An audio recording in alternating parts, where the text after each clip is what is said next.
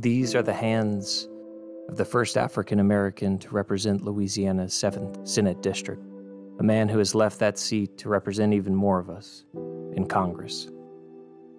And these are the hands of the man who wishes to replace him, a man who has held down a successful law practice and a seat in the Louisiana legislature. For the floor on the bill, Representative Gary Carter. While holding up a family of five, his hands can be seen writing legislation to improve education and to care for our seniors. I'm sorry, I'm emotional about it, but to have a statue to the people who tried to, who enslaved my people, my ancestors, is offensive, members, and it's personal. Or pushing back against racial injustice in our state. Gary Carter is the senator we need, hands down. But as we all know, it's never that easy.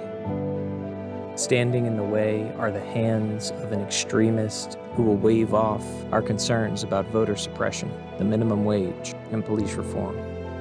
On June 12th, we have the chance to elect someone who will stand hand in hand with us, whether we're white, black, Democrat, or Republican. The future of our community is up to you, because the future of our community depends on the people we elect to represent us.